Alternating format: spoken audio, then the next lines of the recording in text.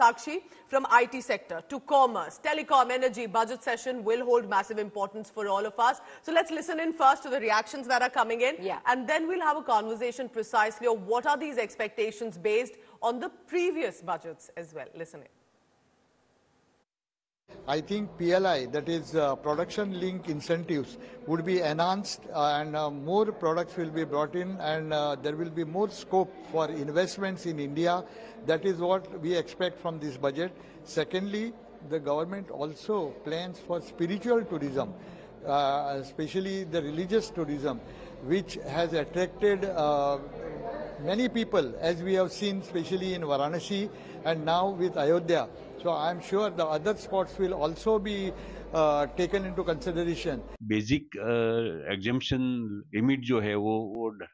है वो पाँच लाख तक हो तो अच्छा है इनकम टैक्स के बड़े रिफंड जो देर से आते हैं तो वो जल्दी हो और छोटे छोटे ऐसे प्रावधान है कि जिसमें गवर्नमेंट का इंटेंशन अच्छा है लेकिन कहीं ना कहीं कंफ्यूजन के कारण ये दिक्कत हो तो रही है।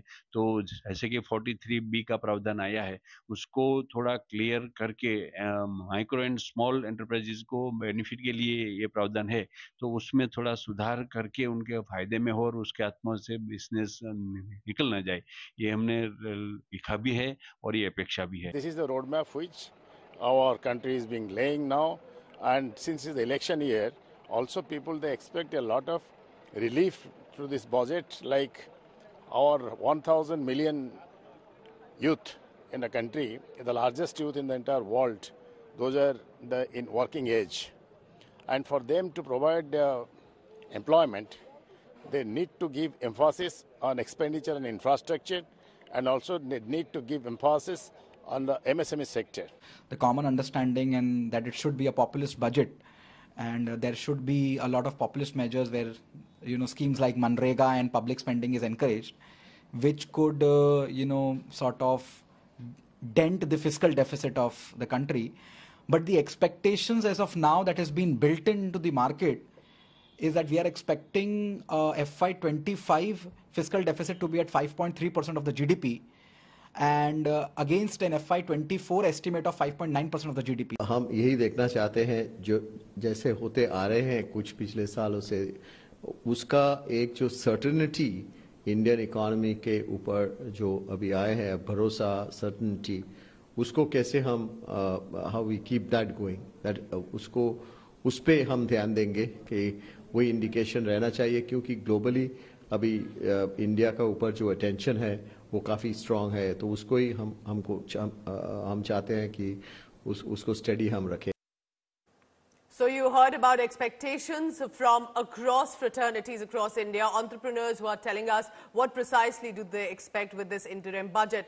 Sakshi, you know, while we were going through the research and what sort of expectations are there, I also realized something that obviously the strategies of any government changes and in the backdrop of Ram Mandir, which was such a big uh, moment for this country, but do you think tourism, whether it's religious, spiritual, economic tourism, will be a focus for this government? Can it find a mention in this interim budget? I do hope so because, of course, we've actually seen such a big event of uh, Ram Mandir go by and the kind of popularity that Modi government is already backing on ahead of the elections because of the Ram Mandir launch and the inauguration. Now, of course, $10 billion were actually spent on Ayodhya's makeover and uh, the inauguration of Ram Mandir. And, of course, they're betting big on huge tourism. Remember, just ahead of the Ram Mandir, Prime Minister was also at Lakshadweep and you uh, saw the Lakshadweep versus Maldives Domestic controversy. tourism. And they're talking about how each and every place in India can have a special uh, tourist attraction.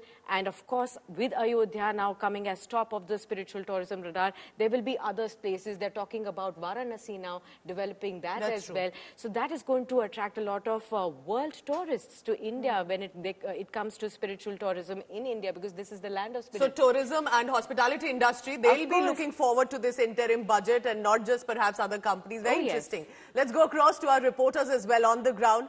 Aishwarya Paliwal, Piyush Mishra, Ashutosh uh, Mishra and also Rahul Gautam continue to be with us. Uh, I see it's already raining uh, Yeah. in the streets of national capital, but our reporters are standing ground. Uh, Aishwarya, and you go ahead if you want to take a question from one well, of colleagues. Aishwarya, you know, there are two or three things since you track the finance ministry very, very closely. One, uh, the Modi government has been falling behind as far as the disinvestment targets are concerned. Even though this time around there was a moderate target of 50,000 crores, they're just at 10, 12 odd crores, thousand odd crores right here. What do you expect on that front going forward from here? Are we going to hear from the finance minister on some of the disinvestments that are already planned? Will we see at least some escalation in the remaining two months of the fiscal year? Well, definitely, you know, we have seen how the government has been pushing on that front. And we have seen how Finance Minister Nirmala Sitharaman has time and again been speaking about the fact that it is because of the previous regime that they are now seeing that this particular sector becoming extremely, extremely difficult. But the government and, uh, you know, uh, Prime Minister Narendra Modi also has been pushing for it because the government understands that they do need to offload a lot of, share, uh, you know, they, they, they need to make sure that the government is smooth and running and they also need a lot of money. And those sectors which are at the moment not working for the government is something that the government wants to do away with. So all those things are obviously something that the government will be speaking about. But yes, 2024 big elections, that is something which we will majorly see because that is something which we saw in the year, uh, you know, we, have, we have been seeing how most of the things that the government has been doing is to make sure that they tell the people the good things that are, have been have, happening. So we will see the finance minister touching upon all those things. But yes, one of the sectors which we should expect the government to be also looking at is the taxes. That is something which most of the people and we also standing outside the finance ministry in the morning are hoping that the government will be speaking about.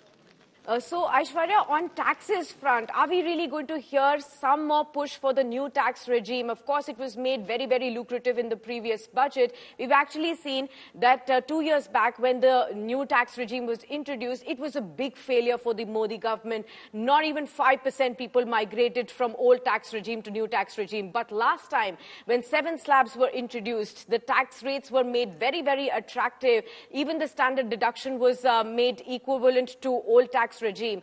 Do you see some more push coming in so that more and more population can actually shift? There are reports that are already suggesting that about 50% of the taxpayers have actually migrated.